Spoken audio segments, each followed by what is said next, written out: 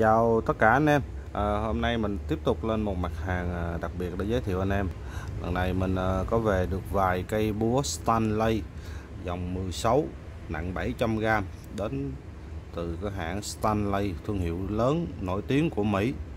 À, đây là cây búa chuyên dụng để anh em ta sử dụng đóng đinh trong gia đình và những anh em thợ mộc.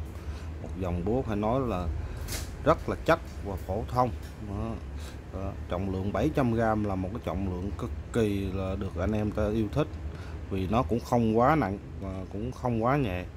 À, cái dòng ờ, 700g ờ, này là sử dụng nhiều nhất trong cái, cái vấn đề anh em đóng góp pha là là, là, là, là hay xài. À, cái cây búa Stanley này mình phải nói là đợt này nó về là cực chất đẹp đẹp rất là đẹp. Tuy là hàng cũ của bãi Mỹ nhưng mà nó vẫn còn rất là đẹp. Đó, những cây này còn rất là đẹp nha anh em. À, tổng thể thì cây búa Stanley của, của Mỹ này nó dài cán của nó là dài 32 cm chất liệu cán sợi thủy tinh bọc cao su. Đó, cán này là cán chống gãy nên anh em không lo vấn đề bị gãy cán trong quá trình sử dụng cực kỳ bền. Đó, tay nắm của nó bọc bằng cao su êm anh em không bị ruột tay trong quá trình đóng. Dòng búa đầu búa này là cái đầu búa cổ dòng cổ điển nha anh em. Nên là cái đầu nhổ đinh của nó rất là cong nên nó tạo thế lực nhổ rất là mạnh à, và khỏe.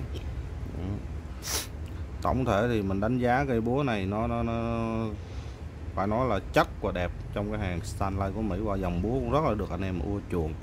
À, chất liệu thép thì thép này là cái dòng thép uh, trắng cái dòng thép không rỉ à, hợp kim không rỉ nên là rất là sạch sẽ trong quá trình sử dụng không ờ, bị rỉ sét.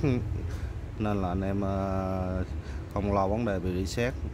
À, nói là cây búa này rất là đẹp trong cái, cái dòng của mấy cái, cây búa của hãng Stanley sản xuất mà mình đã gặp. Thì một cái mẫu búa đẹp như thế này. À, mình bán giá cho anh em là chỉ có 300 ngàn chưa phí vận chuyển một cây. À, à, rất đáng để anh em sưu tầm mua và sử dụng. Hàng đáng đồng tiền bắt gạo cho anh em. À, anh em xem kỹ là nha. Đẹp lắm anh em. Cực chất. Thiết kế đòn 32 xăng nữa cũng rất là gọn trong lòng vòng tay của người ờ, Việt Nam mình.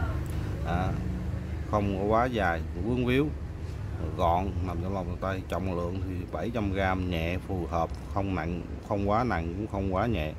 Đóng được đinh ờ, nhỏ lớn ờ, nói chung đóng tới đinh 10 cũng vô tư nha anh em. Rồi anh em nào quan tâm cái mẫu búa Stanley của Mỹ này thì liên hệ mình. Đó, chỉ về được vài cây thôi. À, hàng này hiếm có hàng lắm. Rồi xin kết thúc video tại đây. Cảm ơn anh em đã quan tâm theo dõi.